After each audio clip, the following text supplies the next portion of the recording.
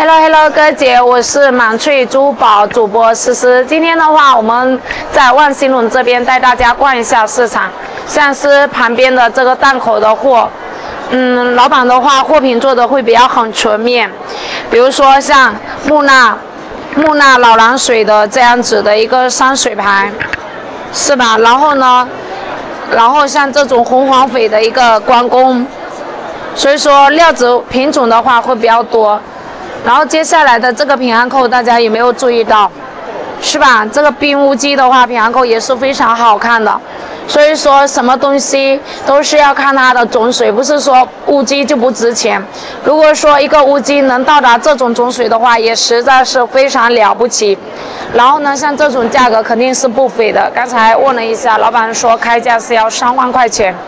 它品质是很高，就是厚度不是很厚，大家应该能感觉出来，厚度不是很厚，差不多应该只有四点五的一个厚度，没有到六啊，没有到六，这只是是目测的一个厚度。看，嗯，你们可以借一下灯光看一下它的一个种水。那现在思思手上拿的这个是一个紫胶的一个浅浮雕的一个书工，它是一个雕的是一个关公的题材。所以说现在大家有没有发现，在直播间里面有很多，嗯，比较完美的料子都是做书工，因为料子太完美了，多多雕一点都感觉非常浪费料子，都是尽量的去保料子。你看。像人家这么好的料子，照样是做这种工艺。收工的话，在我们业界的话，它是无可厚非的。